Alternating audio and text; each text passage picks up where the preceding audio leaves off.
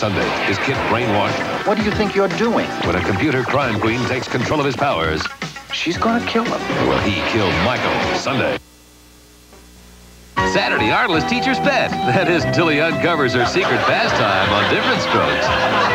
Then Ricky wreaks havoc when Grandpa teaches him how to drive on Silver Spoons.